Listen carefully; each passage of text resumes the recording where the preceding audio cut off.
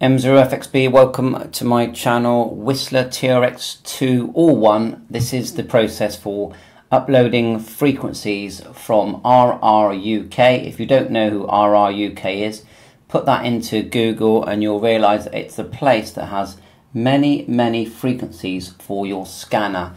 On the left here, we have the Whistler software. I will put links in for both of these items. At the moment, we're just looking at importing frequencies and learning how to import and export the, the files. So let's just say you want to export the whole lot. You've got your frequencies already on your Whistler and you want to export it. So what you would do is once you've run the software, connected it to your device, you would go File and then you would go Save Current Configuration. Okay, and I'll do that now. Save Actually, I'll quickly untick that box there. I don't want that one. So File, Save Current Configuration. Go to where you've kept your files. So uh, on mine's on the desktop. I've got it here and it's called this zip here. And it does save it as a zip. But that saves the whole lot. It's called a CDAT file. Now looking across here, or at the front first, if you want to keep your light on, just go here and put backlight settings mode you want on okay? And there is a timeout but you wouldn't be using that now. Display mode leave it to advanced. Sound settings on key beep you can lower the volume if you want. And as you go you can you know as you make changes you can just go file and go save. Again just go down and save it you know if you get a bit lost. Right, so at the moment, if you look now at mine, we're going to go across the top here. We've got advanced features that I haven't changed. Although scan number one is ticked. Scan list, I've got all these scan lists. Okay? Mainly Bristol, actually. anyway, and in this scan list, look, you've got all these frequencies. But the one I've been using to actually add frequencies is the one at the top here called conven conventional frequencies. So if we leave it there a minute, then we'll go over to RRUK and we'll go to, if we go to the home page, and that takes you straight to this frequency search. Now there is another thing called scanner link. I'll show you that in a minute. You know, you do have to pay if you want that, but otherwise, if you're just looking, you don't. So you need to log in. So it's about, I think it's about £15 a year. But I, if you're into scanning, I think it's worth it. So get our password in there. And then tick the little thing and we'll log in. Oh, the wrong password. Remember that there's a USB cable connected between my radio and this, you know, this computer. So look, so you're on the home page, you go, you've logged in, search frequencies, and let's just do a different one this time. I'm going to put in Clevedon, Clevedon, if it finds that. And I'm in the UK. America, I just think put in your postcode. I will do videos on America, but but um, this is for the UK at the moment. So we go search, and it finds Clevedon frequencies, okay? And it looks British, yeah, okay? So let's just have them. So if you want them, click here, now there are many other ways to do it, but this is how I'm doing it because it's how I found easy. Scanner export, and it makes, if you go down here, depending on which, ra which radio you have, I've got the TRX1, TRX2, but on, depending on which radio you have, it will create that, that export file. So mine's a TRX1 and 2. And if I want, I could just export another one like here, so uh, scanner export. I do have an SDS 200. Is that on here? Can't see one there. No. No. But you could do, look at that, CSV, AOR DV10, that's that super duper one, isn't it?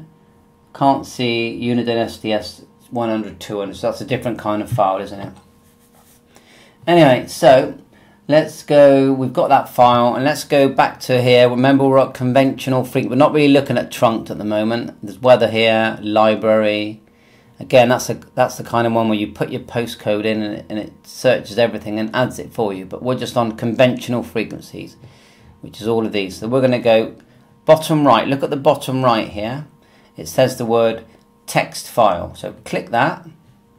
Then find the file. It'll just it would be if you're on Windows, it will go straight to your downloads.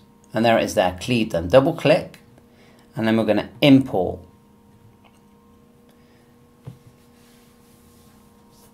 So it does take a minute, and then I'll show you, I'll see if I can show you the scanner link. I don't think it will show it while while it's doing this, but you can see the radio is saying preparing, it's telling you what it's up to. The USB cable is just here.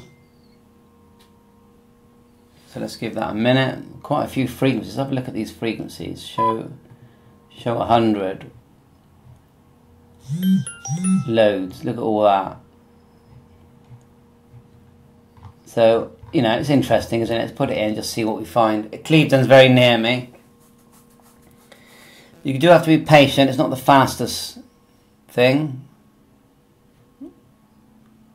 Okay, did that complete? Mm, no, I can see on the radio it hasn't completed.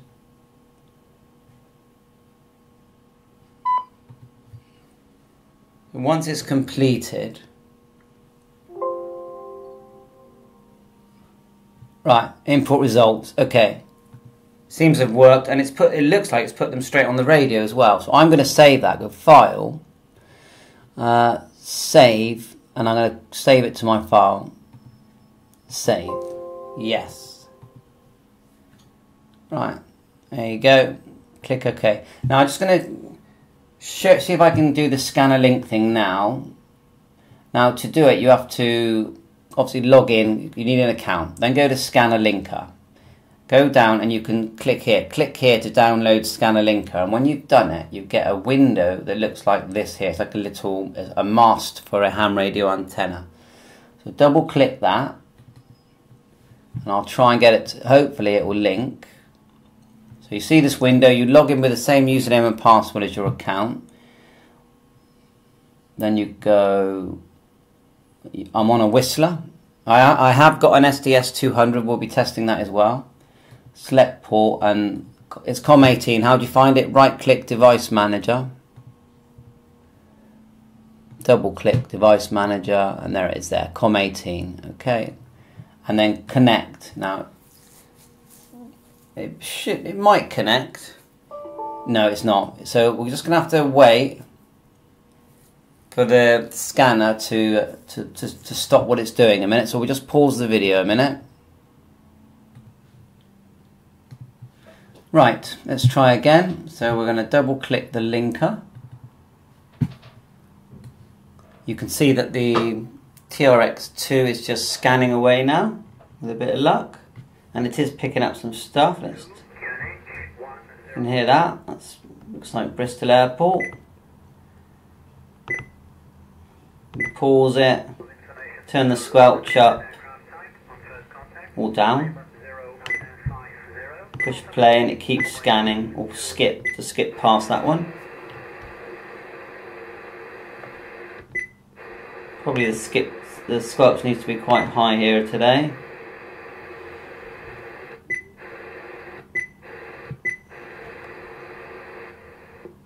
Right, anyway, so let's just link it. So we're going to select Whistler TRX 1 or 2, select COM port 18, then connect.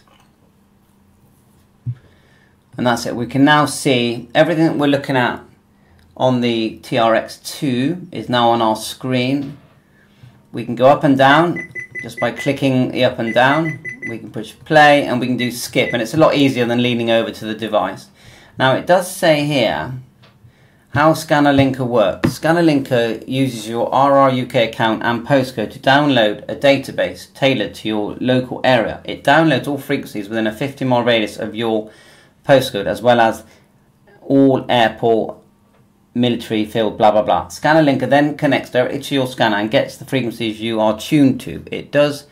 It then does a super fast lookup against the database. It has automatically downloaded and displays the, the nearest three users on that frequency each time you start linker. It updates the database so you're always up to date. So, as far as I know, it's just done that. But you know, I, I haven't seen anything change. But we're looking at Brist, uh, Bristol frequencies on the screen there.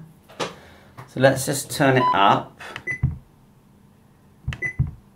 You, to do the volume, you press this button here. Volume and let's go skip.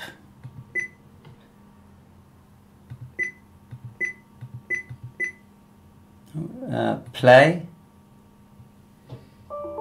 Oh it's now loading everything? Okay so you saw that. And yeah and sometimes it can be glitchy and, and log out just like that did then. But that's okay. Thought I'd show it you. I've read you what it does. We've got a feel for this software. What I'm learning is oh you've got this live mail thing here as well that gives all the live frequencies so while it's loading again we can't do that. So but I've got a feel for this software. The main thing is if you're sending stuff let me just get it right. If you're sending stuff back and forth from your device you would click, go to scanner SD at the top then copy configuration to the scanner yeah, okay, so you'd copy what is on this software here that we're looking at uh, to the scanner. I'm hoping that I didn't send anything, but it doesn't really matter. If you want to, from the scanner, you click the next one down, the second one down, so you're reading what is on the scanner. Now remember, it's actually, it's actually reading the SD card. So you don't have to have the SD card in the scanner, you can have it in your, just plugged into your PC. So think about that as well. I haven't used library and then prepare scanner memory SD card for use. Now if you've got a blank card and you've got a problem and nothing's working, you can select this and it will put the, the SD card in your PC or in the radio and it'll get it ready. It'll optimize scanner memory card as well. And it looks like you can set the clock here as well. I've never done that. Okay, that's done. So that's how you set your clock. Clear scanner password. I haven't got one of them, I don't think. Um, Copy current data to vScanner folder. Yeah, why not? Let's do that. Let's do it to here. Should we try and rename it? it? Says there is an existing data in, in the selected folder. If I do that, it's going to wipe it. So click no. So let's do another one. Let's do it in here. So unselect that one. We'll go File, copy current data to a V folder. Do this one here and go select. There you are. Why not? So that's done. I'm not actually sure what that means, but we've done it. Uh, clear search lockouts, restore factory defaults. Oh, I, I wondered how you did that. So we've done this. The save configuration to archive basically saves that zip file that we've seen. Restore configuration uh, from an archive. We've done that. So that is like if we clicked that, and then we selected one of my zip files, it will it will load on. So if someone sends you a file, they're probably going to send you a CDAT file. So that's about it for now. Oh yeah, now in this section, and you just click check all for all updates, configure auto update check, and check all for updates. And I find it works most of the time, but it can get a bit glitchy, and, and I found I'd have to redo things a couple of times. But it does work. But I just I prefer the manual way of doing it, uh, which is if you go to Uniden TRX2 downloads, like so, go here, this program. If you look here, look for CPU. If you download that and then select the COM port, then you can direct the firmware, you can put the firmware in directly if you get really stuck. I find that's better myself. Uh, what else are we looking at? So I think that's about it. There's obviously loads more to learn. I don't know how to do trunk systems. I'm in the UK. The weather, there's weather frequencies here, but they're different than the USA. Library import. It says here, welcome to library import. This process will allow you to import channels from the database library into your mobile digital scanner. Okay, and so you know this is look at that. You can import, and these are all America audio, yeah, you can record and play back. Search, you can search frequencies by the looks of it. So I haven't done any of this. So you're setting your search settings. So please someone message me, tell me more. Look, show convenient frequency tabs, show this, show that. Start with full screen. Remember position and size on exit. Set. Might as well tick that. You got some groups here, whistlergroup.com, about Whistler, set import options. as well. So what if you get yourself a scanner, any scanner, there is a lot to learn, especially if it's one that's like this way, there's a PC program, and whether it's Uniden type program or Whistler, there's a lot to learn. I'm a ham radio operator and I, I'm good at learning things, but there is a lot to learn. This isn't put a channel in, but there is a manual way of, of doing things where you can just go in the menu, in the menu, and select uh, search, then then select tune search then tune mode, you can then manually type it type in frequencies. That does work. Bye for now. Thanks for watching my channel. Please remember to like and subscribe my videos and uh, lots more to learn about the scanner world. I'm interested in all forms of communication, whether it's ham radio, 10 meter, 11 meter, apps on your phone with Zello or scanner. I, I, I'm interested in everything, so I enjoy doing it. Thanks for watching my channel. Bye for now, 7-3.